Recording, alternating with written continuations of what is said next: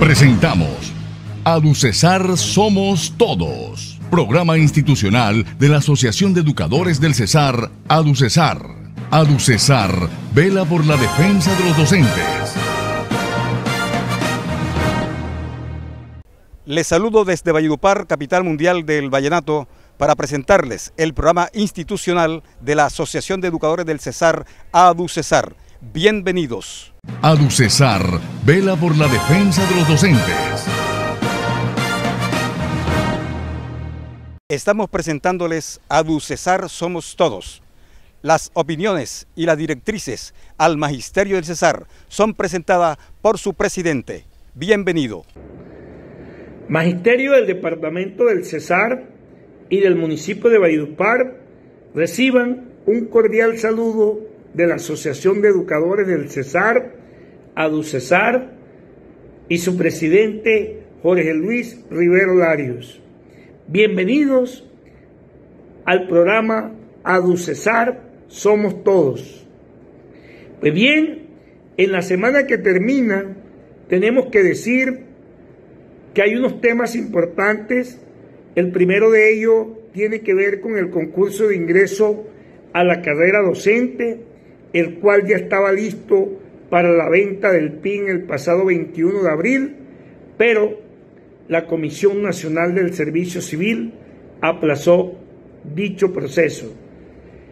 Sobre esto tenemos que decir lo siguiente.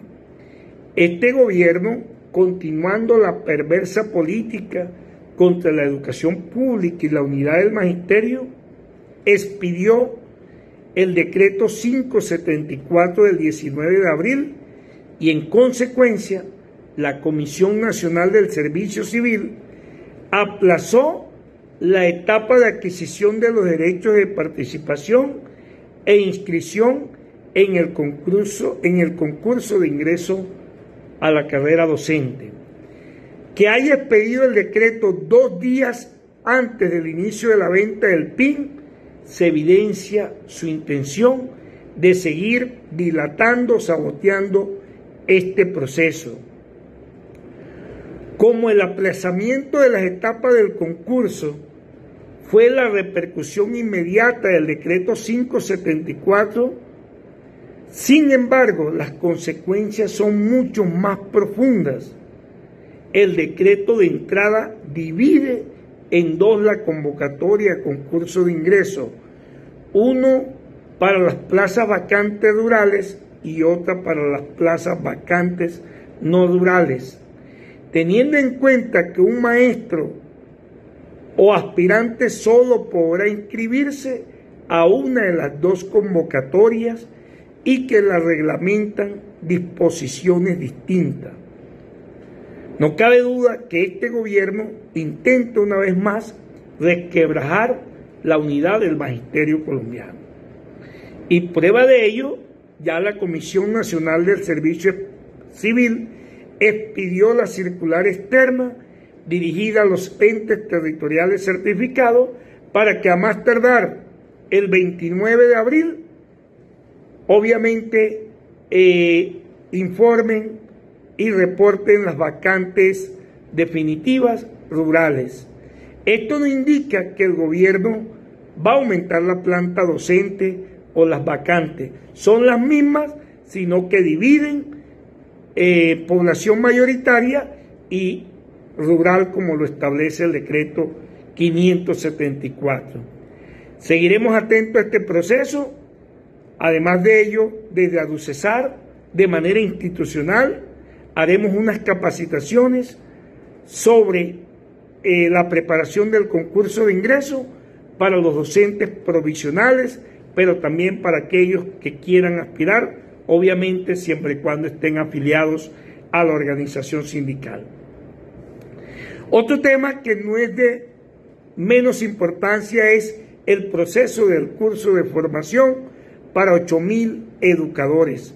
El gobierno sigue dilatando este proceso, no se ha hecho la convocatoria de la publicación del cronograma para que se dé inicio al proceso de los cursos de formación de 8.000 educadores que llevan tres años en espera para que se les cumpla. Llevan su proceso de escalafón congelado y obviamente para que puedan acceder a la reubicación salarial. Desde FECODE y a DUCESAR seguiremos exigiéndole al Ministerio de Educación la expedición del cronograma completo con cada una de las actividades y fechas que hacen parte del proceso en la materialización de este importante acuerdo para que 8.000 educadores puedan ascender o reubicarse salarialmente. Finalmente, la Junta Directiva de UCESAR aprobó para las próximas semanas el desarrollo de asambleas informativas en todo el departamento del Cesar. Que tengan un buen resto del día. Muchas gracias. ADUCESAR vela por la defensa de los docentes. Seguimos con ADUCESAR Somos Todos. La situación laboral es analizada por un ejecutivo de la CUT. ADUCESAR vela por la defensa de los docentes.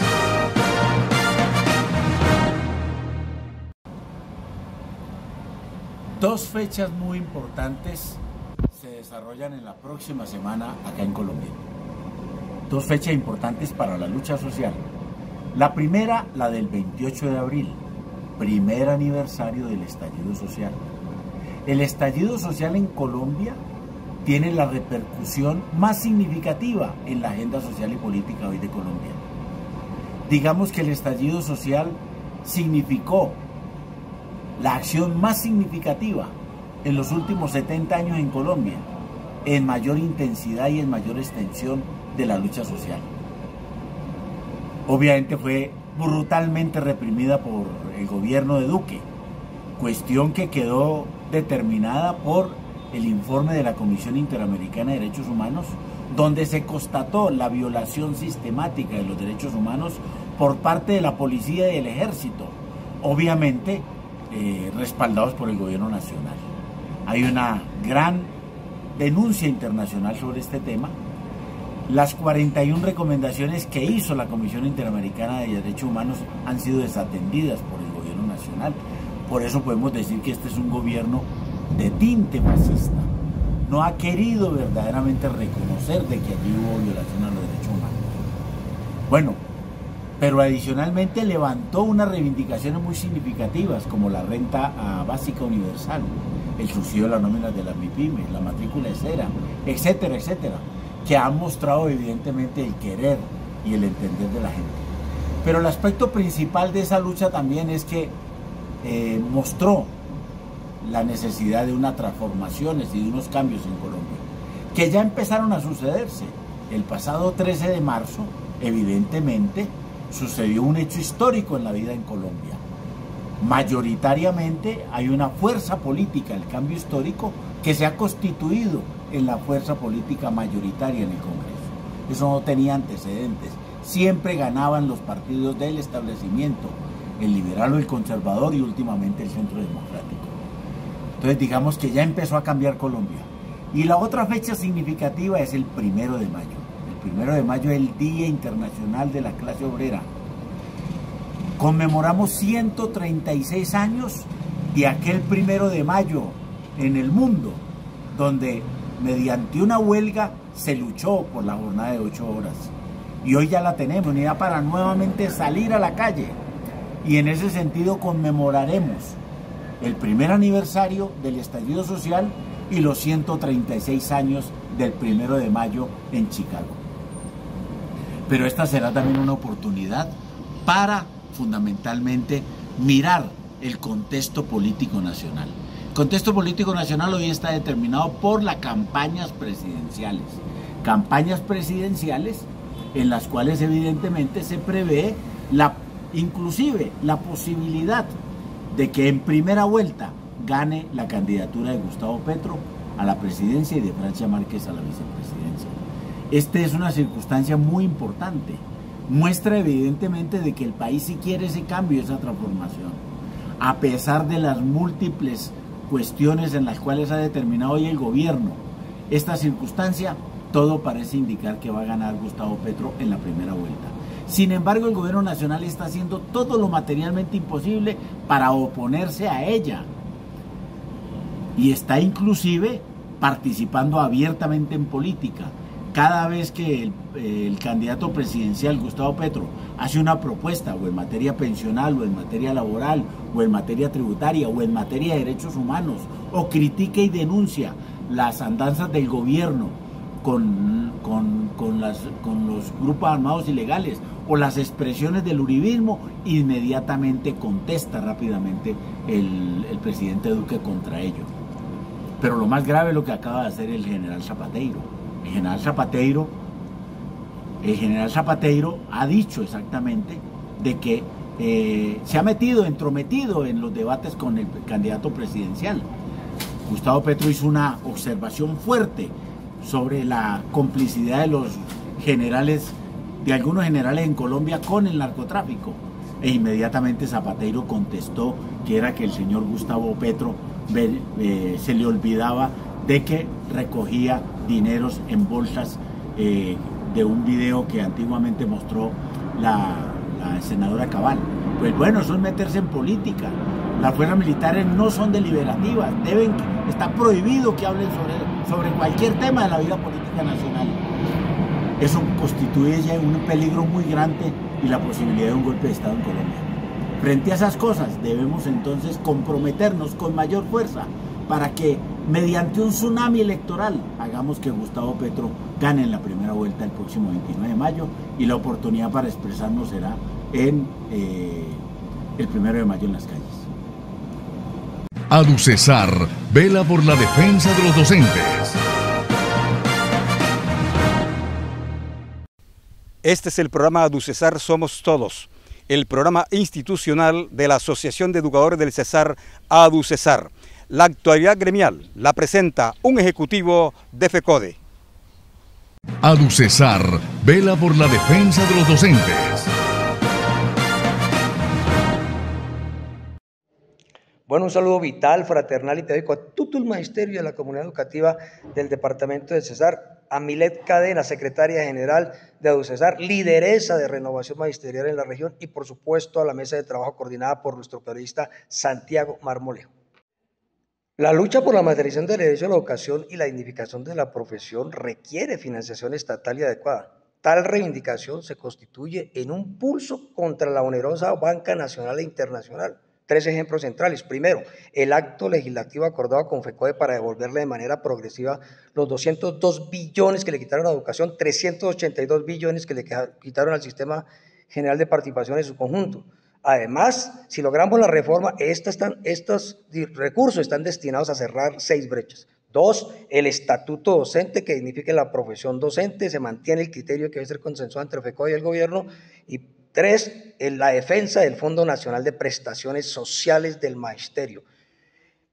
Estos acuerdos que estamos luchando porque se materialicen, pues es evidente que el gobierno, eh, en esa contradicción y de favorecer a la, banca internacional y nacional, pues procede a incumplir los acuerdos y esto eh, se observa en la intención de, eh, además de revertir el carácter consensuado de los mismos e imponer las medidas de manera unilateral, pese a que la negociación colectiva que nosotros mantuvimos derrotamos su carácter inicialmente regresivo y mantuvimos las posiciones conquistadas.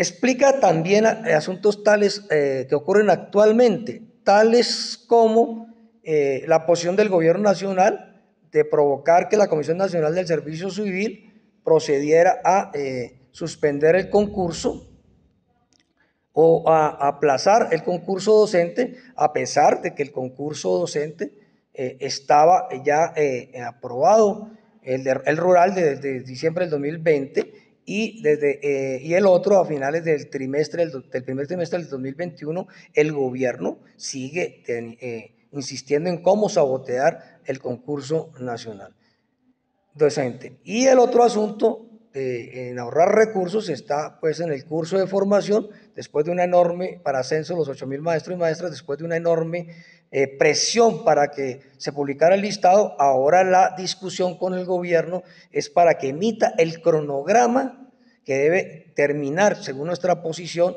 en agosto cuando el maestro pueda eh, eh, radicar el certificado aprobatorio del, de la universidad para que desde allí ocurran sus efectos fiscales y no en octubre como plantea el gobierno. Bueno, los pulsos entre el gobierno nacional y FECODE están en el debate presidencial. El actual ensañamiento del régimen y de su candidato contra FECODE sintetiza su frustración por no haber podido cumplir con la sentencia de acabar con la federación en el actual y esperamos el último gobierno del régimen uribista. Pero su decisión política de hacerlo se mantiene si su mandato se prorroga o se consolida. Las razones de tal ensañamiento contra FECODE son varias. Primero, porque hemos logrado impedir la supresión del sistema educativo público, del derecho y la gratuidad de la educación de preescolar a media, de la desprofesionalización de la docencia y de la función social de la escuela. El hundimiento de los oscurantistas proyectos de ley entre el 2018 y junio del 2021, los últimos en el marco del paro nacional, son ejemplo de ello, entre los que destacamos el proyecto de ley 093 o Home School y el proyecto de ley 277 o los que logramos también en, el mismo paro nacional eh, eh, contra el proyecto de ley, hundir el proyecto de ley 010 y, eh, por supuesto, hundir la reforma tributaria y con hecho de estar para atrás la congelación de salarios. Obviamente el régimen no existe y volvió a radicar proyectos agresivos garantistas. resumimos en dos, que se sintetiza la intención del Centro Democrático, sus oscuras intenciones de, se resumen en un proceder de proscribir busca proscribir el sistema educativo público y el derecho universal a la educación y el derecho a la asociación para defender el derecho a la educación, como se expresa en el proyecto de ley 021 del año pasado y el proyecto de ley 331 de 2022. Estas son reformas que acabarían con el sistema eh, educativo público y con la posibilidad de defender semejante adefesio. La reforma eh, y retoma también entre los proyectos la desprofesionalización de la, de la carrera docente al señalar en el proyecto 130 del Senado que no se requerirían títulos para ejercer la docencia de 0 a 6 años. Además, nosotros nos hemos caracterizado entonces por impulsar la lucha por la materialización del derecho a la educación y la dignificación de la profesión. Y como esta requiere una financiación estatal y adecuada, esta es la reivindicación principal que entra en contradicción, esta lucha por eh, la reforma del acto legislativo, entra en contradicción con, la onerosa banca nacional e internacional. Los ejemplos centrales están, uno, eh, en lo que hemos señalado, el acto legislativo acordado con FECODE para devolverle de manera progresiva los 202 billones de pesos que le quitaron a educación en los últimos 19, 20 años, bueno, entonces la táctica a seguir para salvaguardar los acuerdos conquistados y pugnar por su, por su cumplimiento, pues sigue siendo el de fortalecer la movilización social, pero igualmente en hacer una vez más lo que hicimos ya el 13 de marzo, que esa movilización social se trasladara a las urnas y lográramos quitarle el control predominante del absoluto prácticamente del Parlamento, especialmente del Senado, al, partido de gobierno y posibilitar ahora una Cámara Alta con 40 senadores alternativos eh, que van a jugar un papel muy importante en aspectos en la discusión, como la reforma constitucional para, para garantizar la financiación adecuada, o como el estatuto docente, o como, o como los recursos que se requieren para la época del post-confinamiento, para que la educación pueda eh, darse de manera, eh, en condiciones dignas, salvaguardando la vida y la salud. Ahora lo que corresponde es que el próximo 29 de marzo completemos la tarea y que garanticemos, por supuesto, que allí se logre, sin más vueltas, eh, un gobierno alternativo en cabeza de Gustavo Petro y de Francia Márquez que nos permita seguir avanzando en estas batallas tan importantes por la defensa de la educación pública. Abrazos a todas y todas. Eh, les habló Miguel Ángel Pardo Romero, secretario de Asuntos Pedagógicos y Educativos y científicos de FECODE. ADUCESAR vela por la defensa de los docentes. En ADUCESAR somos todos. Este es el tema del momento. ADUCESAR vela por la defensa de los docentes.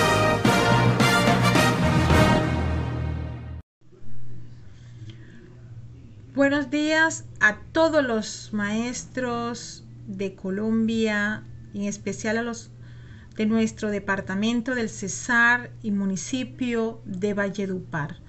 Este saludo cordial de parte de nuestra Federación Colombiana Trabajadores de la Educación FECODE, de parte de nuestra Asociación Educadores del Cesar, ADUCESAR, y por supuesto del movimiento que hoy lideramos, Renovación Magisterial.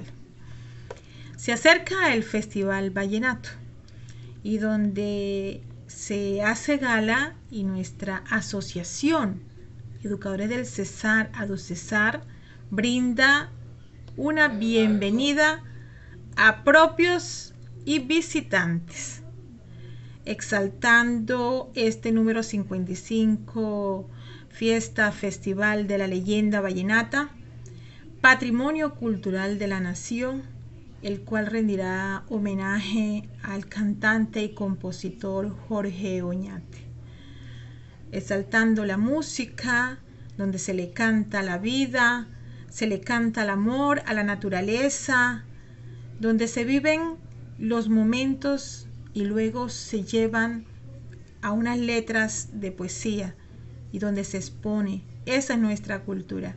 Los maestros del departamento del Cesar seguimos alimentando desde nuestras instituciones, seguimos enriqueciendo la cultura y el folclor vallenato.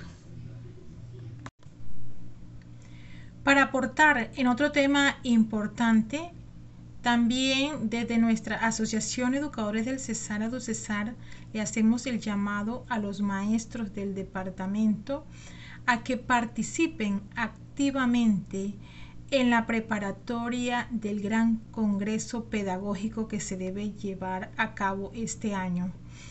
Este Congreso Pedagógico, pues los maestros serán los protagonistas en sus vivencias, en sus eh, actividades pedagógicas, curriculares, donde podrán esbozar y plantear nuevas estrategias para tomar el rumbo que se debe dar en la transformación de la educación pública en Colombia, pero también aportando a nuevas experiencias para la defensa de nuestra educación eh, pública y la defensa también de nuestros derechos en el magisterio colombiano.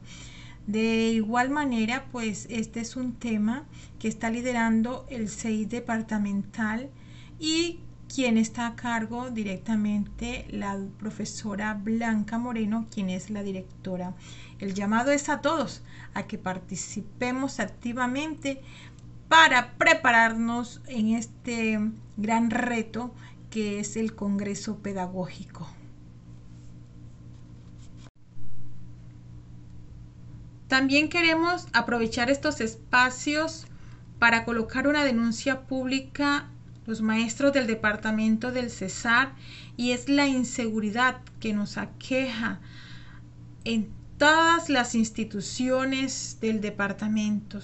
Son objeto los maestros de atracos dentro y fuera de las instituciones y de igual manera esto viene ocurriendo a los estudiantes. Exigimos a las autoridades eh, mayor seguridad, protección. Eh, exigimos que nos permitan hacer el trabajo de una manera más tranquila.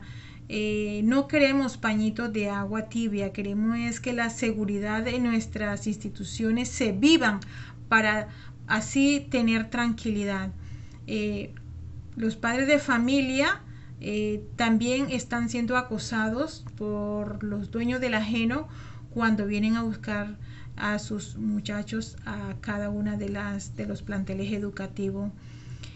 Se han saqueado en el departamento del Cesar varias instituciones, eh, salas tecnológicas han quedado sin un computador, se han llevado los televisores de alta gama y de esto tiene conocimiento las autoridades pertinentes. Exigimos pronta solución a esta problemática para que nuestras escuelas sigan siendo eh, escuela y territorio de paz. Muchas gracias. Quien les habla, Milet Cadenadita. Aducesar vela por la defensa de los docentes.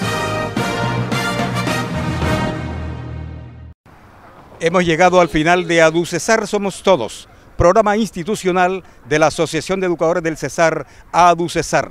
Gracias por su atención. Aducesar vela por la defensa de los docentes.